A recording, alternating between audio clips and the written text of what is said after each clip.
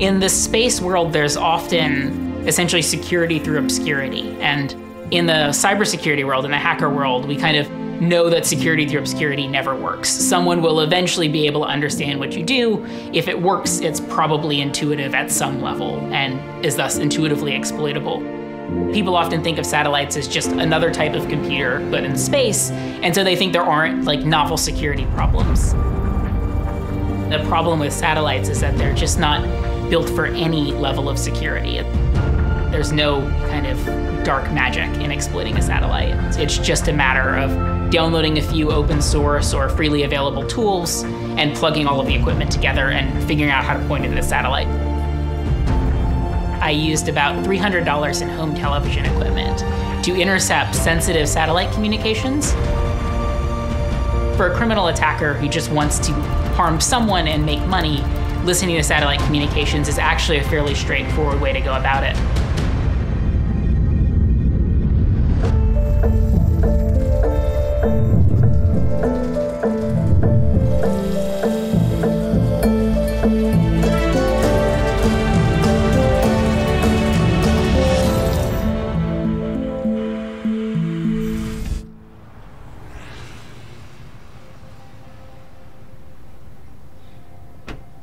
I'm James Pavur. I'm a PhD student at Oxford University, where I research satellite cybersecurity.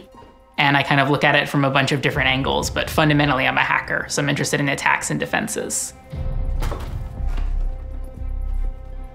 So we wanted to understand what was happening in these radio signals that were coming from 30,000 kilometers above our heads and whether or not they were being sent in a way that revealed people's data because these signals cover entire continents, so you never know who's listening.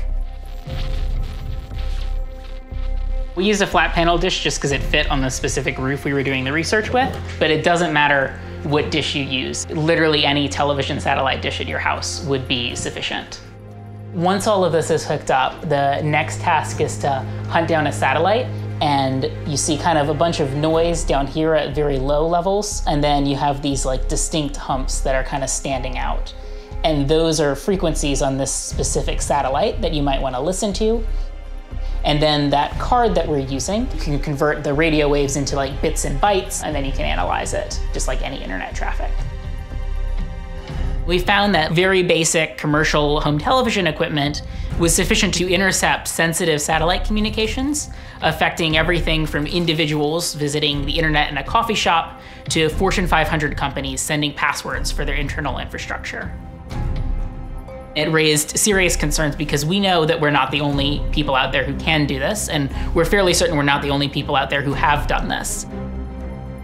I think Hack-A-Sat is a really good step towards getting more people who can apply skills that are probably better than mine to these problems.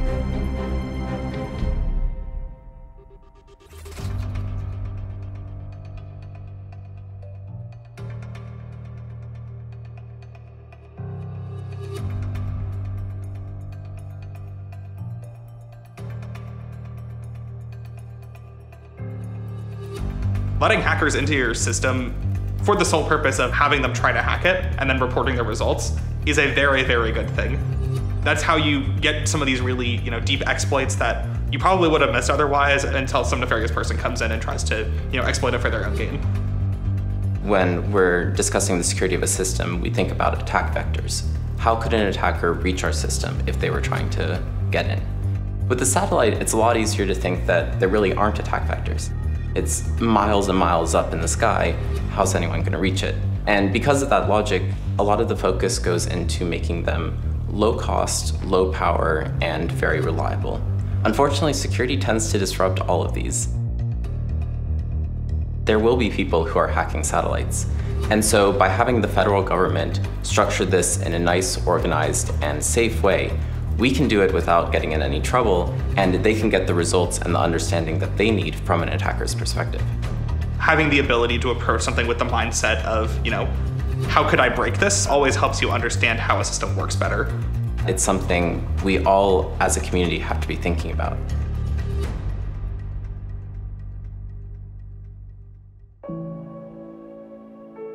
As I've gotten involved in space, it started to dawn on me that like it's not just, you know, people landing on the moon and bouncing around really high, which is definitely one of the coolest things about space. But there's a lot of like really important things that affect the lives of ordinary people. So space is a domain for everyone, even if it often feels like, you know, these billion dollar projects are completely devoid of relationship to everyday life.